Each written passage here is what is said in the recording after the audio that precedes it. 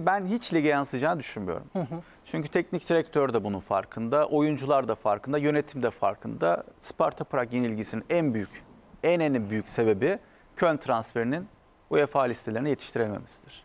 Sol bekteki problemle gelen bir e, yenilgidir. Ligde oynayacağınız karşılaşmada sol bek kriziniz olmadığına göre, sol bekte Köln oynayacağına göre o zaman da böyle bir sorunun yaşanmayacağını herhalde teknik adam da oyuncular da yönetim de farkındadır. O yüzden de burada öz eleştiri yapması gerekenler Köln transferini listeye yetiştirememiş olanlardır. Ve Sparta Prag'ın iki karşılaşmada 180 dakikada Mustera ile yaklaşık 8 tane karşı karşıya kaldığı pozisyonda sol bekten gelişen açıklarla doğmuş olan pozisyonlardır. Eğer siz Prag gibi bir ekibe karşı geçelim hadi Prag'ı da e, rakibiniz Gaziantep'te olsa, Başakşehir'de olsa, Kayseri'de olsa bir rakibe karşı 180 dakikada sadece bir mevkiden 8 tane net kaleciyle karşı karşıya kalmalık pozisyon veriyorsanız bu zaten ağır bir fatura doğuracaktır ve Prag da bunu iyi değerlendirdi. Şimdi Köln'ün varlığıyla birlikte muhtemelen bu açıklar verilmeyecek ve Galatasaray'da ligde biraz daha farklı bir kimliğe yine bölün- bölünecektir. Yani bölünecek gibi gözüküyor. ve bu mantık açısından bakarsak da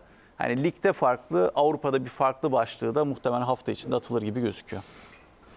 Yani ben hep şu ifadeyi kullanıyorum. Ligimiz bir illüzyon yaratıyor bize. Yani burada takımlarımızın özellikle hep Galatasaray ve Fenerbahçe'nin iyi yaptığı şeyleri konuşuyoruz ama bu iyi yaptığı şeylerin birçoğu aslında ligimizin dışına çıkınca ortadan kayboluyor.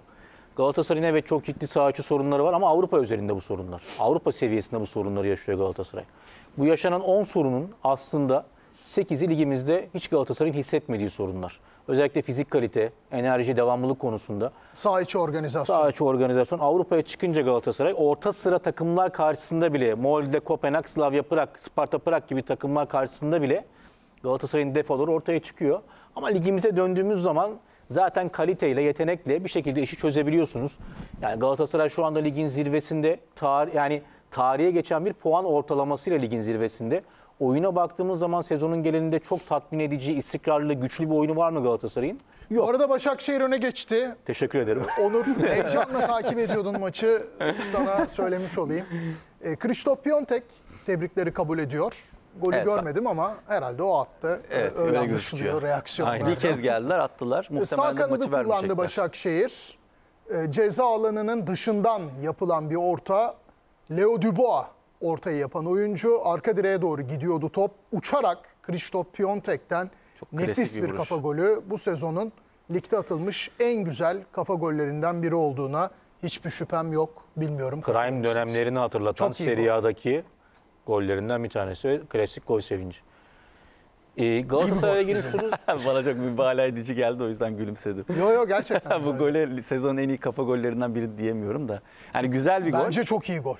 Yani çok iyi kafa Klasik golü. bir kanat ortasına kafa vurdu adam. Uçan kafa vurdu. güzel. yani. Uçak kafa vurdu da yani. Benim de uçan kafa gollerine özel bir zaafım vardı. Hastasıyız yani. Şöyle bir o şey var. yüzden. uça- uçan kafanın mesafesi var şimdi. 30 santim uçup da vurmak var. Bir de Van Persie gibi uçan O, Hollandalı. o başka o bir şey. başka O bir zaten boyut. seviyeyi başka bir noktaya ama Evet, çıkardı. şey- güzel bir gol. Ama hani yani sezonun en iyisi der Hayır, miyim biraz mübalağa olabilir. En güzel kafa gollerinden biri. Biri.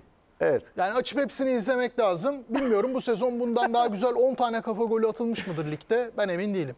Yani evet. Yani uçarak olması da benim özel ilgimi Evet. çekti. Ama hani en iyisi mi biraz tabii e, En iyisi değil tabii canım. en iyilerinden bir tanesi olabilir. Evet. Yani Galatasaray ile ilgili şunu tamamlayayım.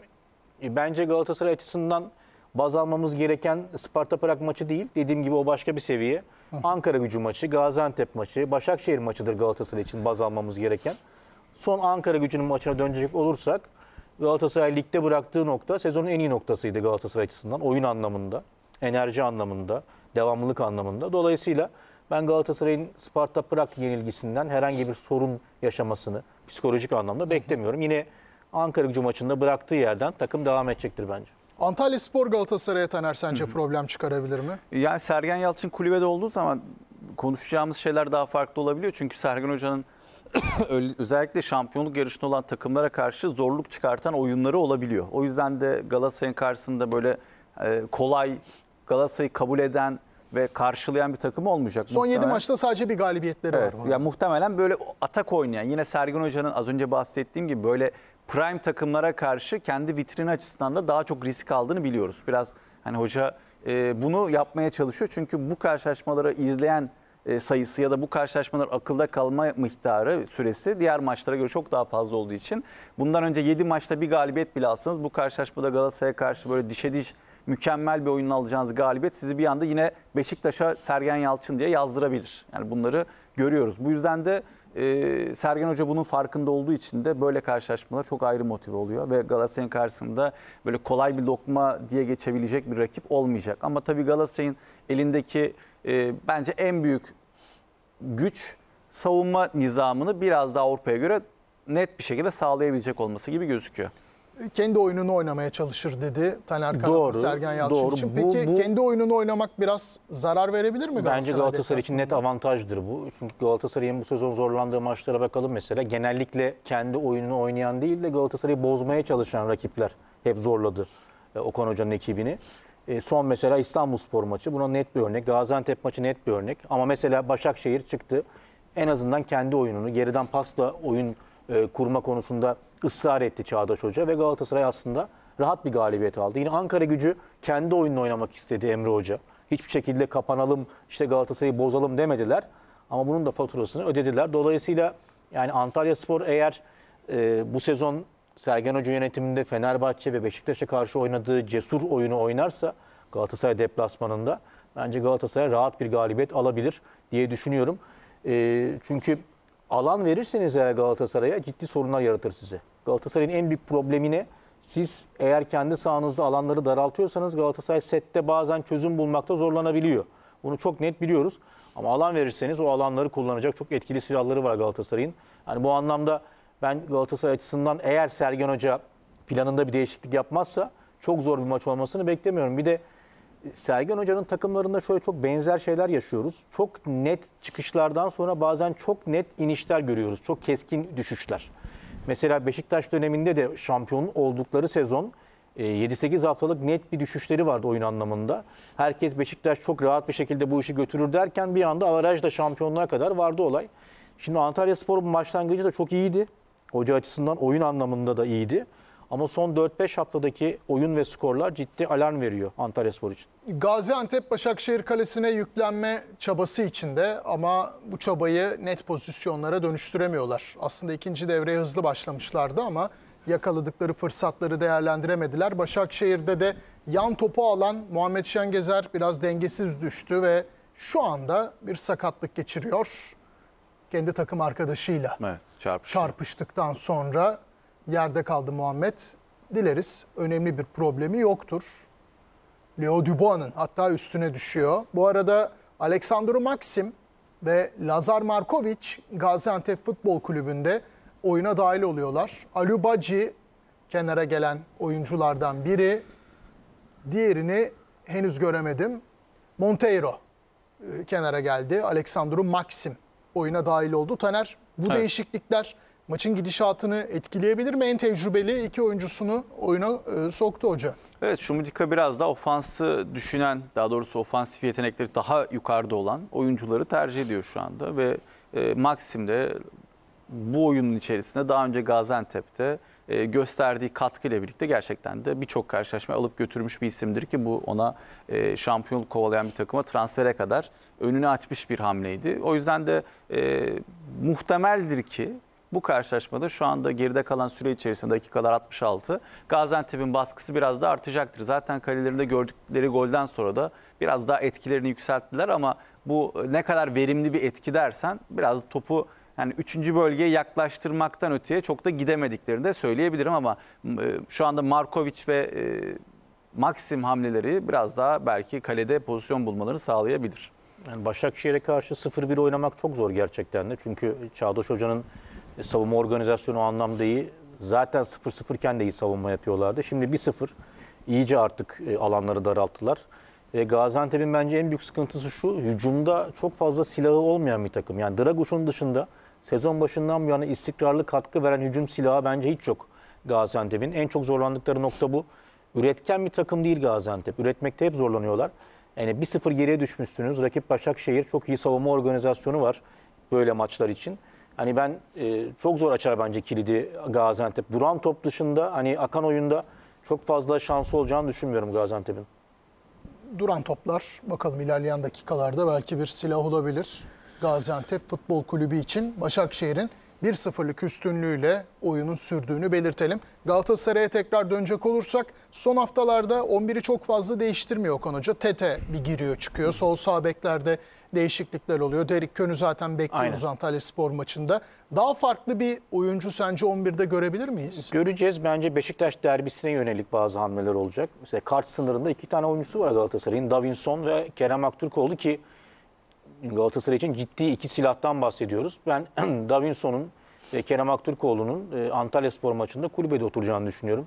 Büyük ihtimalle hoca savunmanın merkezini e, Nelson ve Abdülkerim Bardakçı'dan oluşturacaktır. Zaha bence 11'de oynaması gerekiyor çünkü neden bunu söylüyorum? Artık Galatasaray Zaha'yı kaybetmeye başlıyor yavaş yavaş. Çünkü geçen bunun biz haberini yaptık.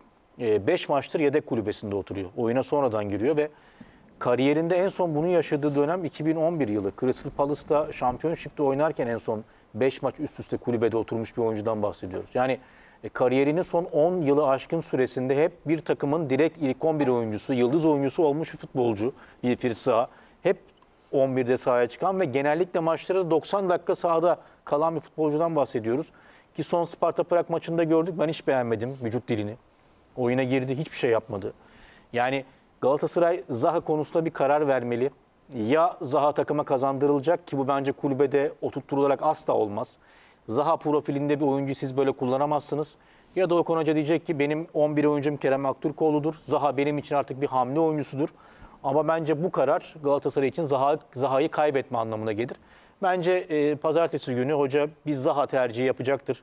Hem kart sınırında olmasından dolayı Kerem Aktürkoğlu'nun hem de artık Zaha'yı biraz işin içine sokması gerekiyor. Hatta şöyle söyleyeyim. Olası bir Icardi cezasında. Çünkü sevk edildi disiplin kuruluna. E, Galatasaray Icardi'siz olursa derbide orada bence hocanın tercih edeceği için isim Zaha olacaktır. E, Vinicius olmayacaktır diye düşünüyorum. Bu anlamda Zaha'nın biraz daha işin içine girmesi gerekiyor. Bir de üçüncü değişiklik Kaan Ayhan. E, yine ağrıları var Kaan'ın onu söyleyelim. Büyük bir fedakarlıkla oynuyor. Kasık sakatlığı var. Derbi öncesi ben Kaan'ın da dinlendirileceğini, sağ bekte Barış Alper'in oynayacağını, önünde Tete'nin forma giyeceğini tahmin ediyorum. Ne dersin Taner? Yani çok mantıklı ki Zaha'yı hocanın son adam olarak oynattığı maçta da gayet de Zaha iyi bir performans sergilemişti. Trabzonspor maçında. Trabzon karşılaşmasında Zaha gayet de iyi işler yapmıştı. İki ama gol attı, bir asist yaptı sanırım. Evet, İki gol bir Kerem'in asist. Bir gole sayılmamış. şu anda Kerem'in sınırda olmasından dolayı hoca kesme ihtiyacı duyur mu, duyar mı duymaz mı kısmı bir kenara ama e, tabii Zaha'nın sahaya çıkamama sebebini de iyi sorgulamak Kesinlikle. lazım. Zaha 5 maçtır niye kulübede bu kadar forma adaleti konusunda e, adaletinden çok da şüphe edilmeyen bir teknik direktör 5 maçtır Zaha'yı kenarda bırakıyorsa bunu şöyle sor- sorgulamak lazım. Birincisi Kerem toparladı ve 3 aşağı 5 yukarı iyi işler yapıyor. Kerem'le ilgili problem yok. Mertens 90 dakikayı bir şekilde çıkartmayı başarıyor ve o bölgede de Zaha'yı ya da daha önce Kerem'i hoca o bölgeye çektiği zaman Kerem'in performansı düştüğü için Kerem'i on numara pozisyonuna çekemiyorsunuz. Sağ tarafta ne Zaha ne Kerem sağ Evet. tarafta oynadığı zaman performans veremiyor.